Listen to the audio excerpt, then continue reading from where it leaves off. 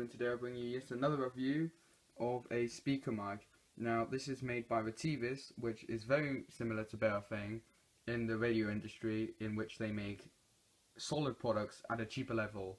However, what Baofeng never did, or any of the other ones, is make a good speaker mic that's not stupidly expensive. Code Reds was the answer for a long time, for $50 though, um, while this is $20 as of 2017 and let me tell you what this is the best one. The cable is thicker than any of the others. Better coiled uh, better quality in general. The speaker the microphone the fact that it's IP54 um, water and dust resistant. And what that means is you can run through for instance a dusty area. If you fall over get dust on it.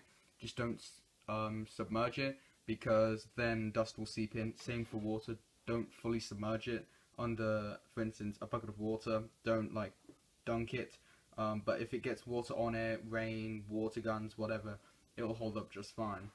So at the head, we've got the nice Retevis labeling there. And this is probably the nicest one I've got. It, the plastic feels more durable and actually one of the first things you'll notice is this thing has a lot of heft to it. On the right hand side of the microphone you've got a nice tactile push to talk button there, PTT in other words.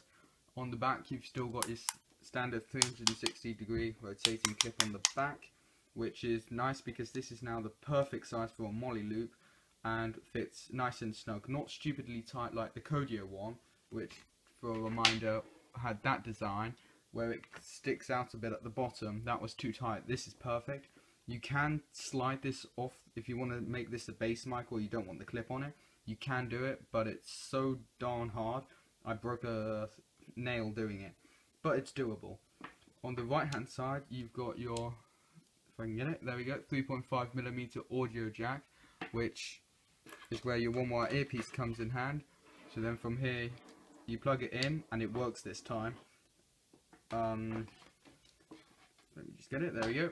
And so what that does is the sound will not come out of the speaker on the microphone, but it will be diverted up to your acoustic tube earpiece, which will go straight to the ear keeping your radio traffic private and it won't broadcast it out loud so people can't listen into your into your conversations.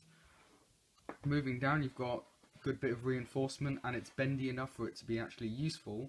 In the past they've been so stiff that it's just the equivalent of having the plastic end here. It didn't bend so this is good. It's got a sensible amount of straight cord there and then it's tighter it's a nice tight coiled cable it's almost as long as the Kodio one, but the fact that it's more flexible, tighter coiled, makes it a lot nicer.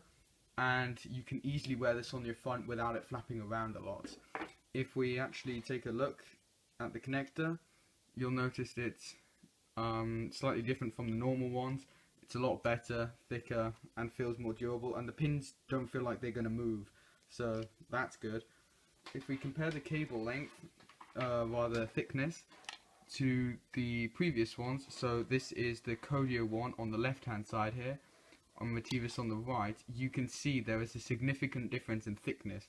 And that's because the Retevis one, what they've done is they've reinforced not only the cable housing around it, they've also put a bit more Kevlar in there.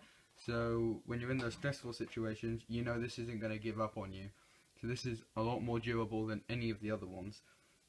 This is by far my favourite and best speaker mic I own and I can highly recommend it to everyone else. Thank you very much for listening. I hope you enjoyed the video. If you have a question, leave it down in the comments below. Please like and subscribe, and I'll see you in the next video.